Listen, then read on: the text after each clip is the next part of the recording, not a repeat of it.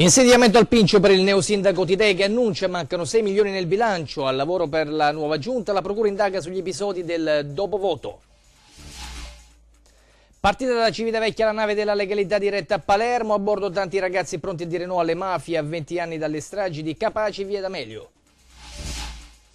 pallavolo la Sartorelli Seramenti bis successo ottenuto nella gara d'andata col Green Volley e approda alla finale playoff partita secca che verrà la Serie B2.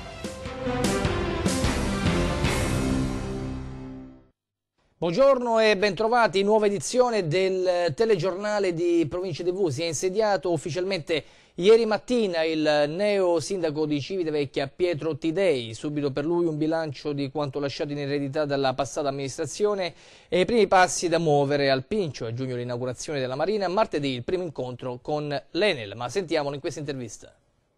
Allora, appunto, primo giorno da sindaco per Pietro Tidei, quali saranno le prime cose da fare? La prima cosa da fare è fare il bilancio. Il bilancio stamattina ho convocato i dirigenti, mancano 6 milioni di, di euro per fare il bilancio. Fortuna che c'era qualcuno che non voleva far pagare neanche l'IMU, quindi nonostante l'IMU mancano 6 milioni.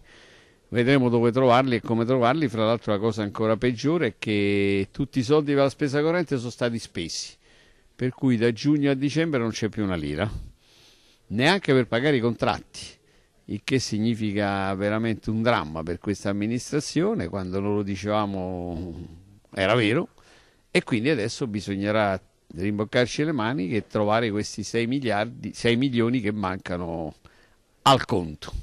Ecco, parliamo di progetti. I progetti sono tanti, sono innumerevoli. Intanto uno dei primi incontri che avrò con il ministro Clini per fare dire definitivamente no alla discarica Santa Lucia.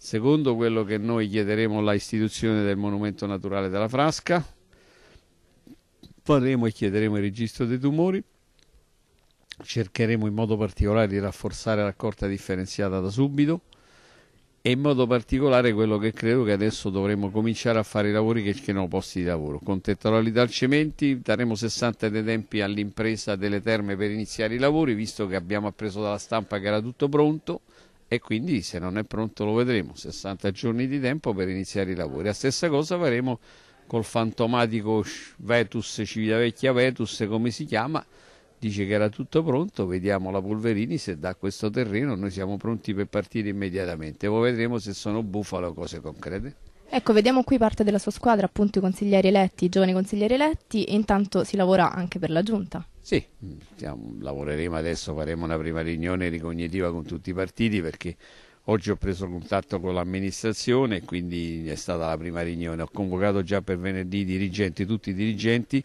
per fare un punto sul bilancio e sulla riorganizzazione degli uffici. Dopodiché vedremo da, che cosa possiamo fare, ma intanto la giunta nel giro di pochi giorni la faremo. Il primo cittadino ha scritto ieri al Ministero dell'Economia e delle Finanze per chiedere, ha spiegato una verifica urgente amministrativa e contabile relativa agli anni 2007 e 2012, all'arco di tempo che va dal 2007 al 2012, quindi il mandato di Gianni Moscherini, prima di iniziare operativamente la nuova gestione del Pincio. Nel giro di due settimane la Procura ha aperto ben tre indagini relative alle elezioni per il rinnovo del Consiglio Comunale, oltre ai presunti brogli, infatti all'attenzione della magistratura anche l'incendio della Mercedes a Viale della Vittoria e il trasferimento serale di carte faldoni degli uffici dell'ex sindaco Moscherini. Il servizio sono tre le inchieste aperte dalla Procura della Repubblica per fare luce sugli episodi di cronaca legati alle ultime amministrative. Oltre alle indagini avviate per presunti brogli e per chiarire quanto accaduto nella notte tra il 7 e l'8 maggio scorso al centro raccolta dati e raccolta plichi del Pincio, infatti, da Via Terme di Traiano sono partite altre due inchieste. La prima riguarda il principio di incendio alla Mercedes del neo sindaco Pietro Tidei. L'idea della procura infatti è quella di avviare una perizia sull'auto oggi sotto sequestro. La relazione dei vigili del fuoco parlerebbe di un cortocircuito confermato dal fumo visto uscire dalla parte anteriore della vettura, ma gli inquirenti vogliono vederci chiaro perché appare comunque strana la coincidenza. La seconda inchiesta aperta invece riguarda quanto accaduto nella serata al Pincio a poche ore dalla conclusione dello spoglio, quando alcuni articoli 90 della passata amministrazione hanno iniziato a portare via fogli e documenti dagli uffici, caricandoli su alcuni mezzi di città pulita per mandarli al macero. Notato l'episodio, gli esponenti del centro-sinistra hanno chiesto l'intervento delle forze dell'ordine, il pericolo per loro, la possibile sottrazione di documenti importanti. Da lì il sequestro dei mezzi con carabinieri e polizia che hanno fatto scaricare i documenti nel piazzale controllandoli uno ad uno. Le carte sono ancora in fase di verifica con i carabinieri impegnati a seguire le operazioni. In questo caso ancora non è stata formulata alcuna ipotesi di reato né tantomeno sono state iscritte persone nel registro degli indagati. Entrambe le indagini sono coordinate dal sostituto procuratore Paolo Calabria. E sull'episodio dei faldoni gettati dagli uffici del comune e caricati dal personale di Città Pulita su alcuni furgoncini si registra un'interrogazione dei deputati del PD, Gasbarra Meta e Tuadì al Ministero dell'Interno eh, nella persona di Anna Maria Cancellieri. Le chiediamo, si legge se confermato il gravissimo episodio, di conoscere quali provvedimenti intenda assumere per censurare e perseguire un comportamento che non ha precedenti. Già poche ore dopo la riconferma il sindaco Crescenzo Pagliotta, stiamo parlando di Ladispoli, è tornato al lavoro per affrontare le delicate questioni che a breve scadenza attendono la città.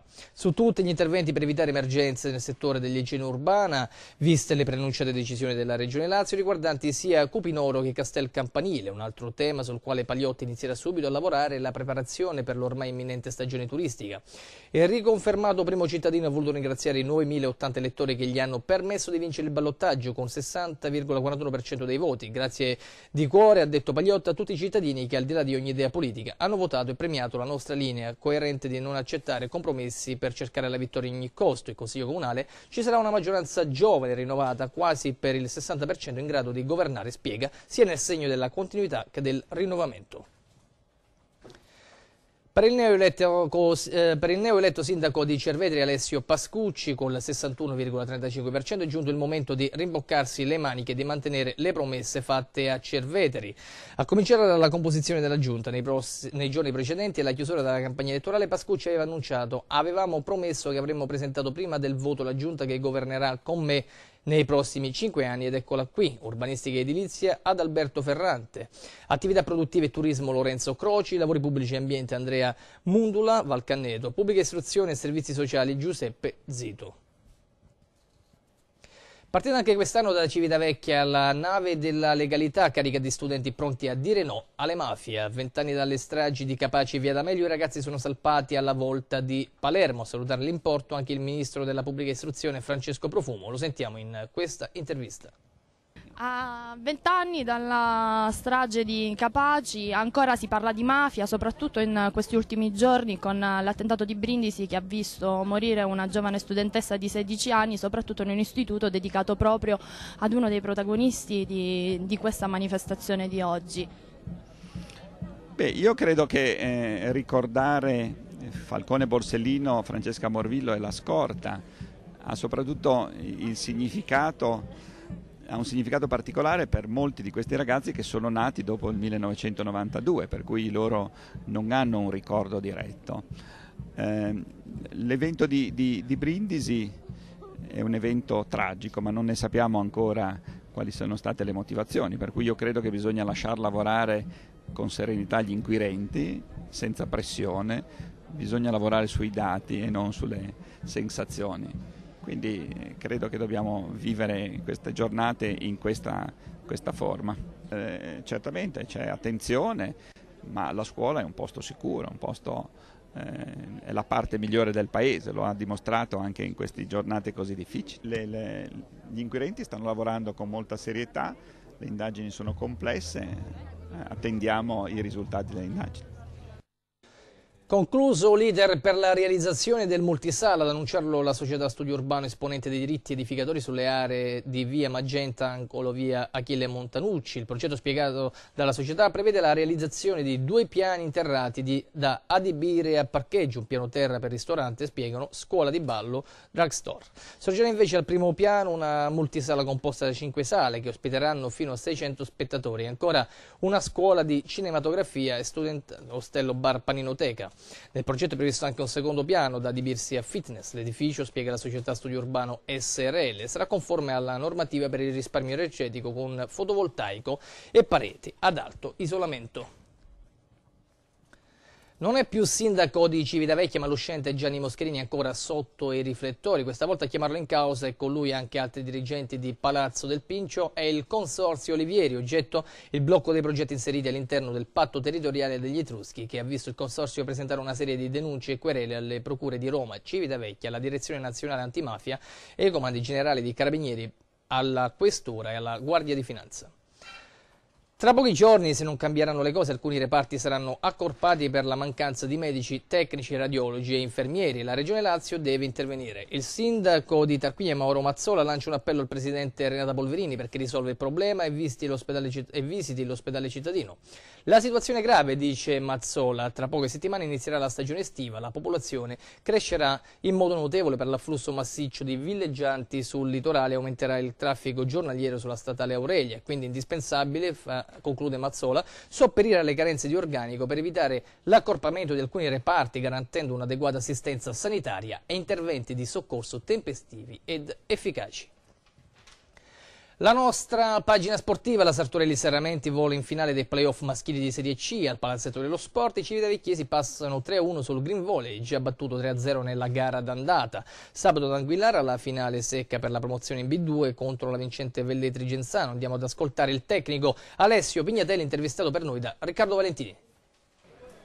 Siamo qui con Alessio Pignadelli, allenatore della Sartorelli Serramenti. All'andata vittoria per 3-0, oggi bastava vincere un set e l'avete fatto subito. Sì, sì, siamo stati determinati, molto bravi e concentrati a scendere in campo nel primo set, quindi buon approccio alla partita e è andato tutto bene.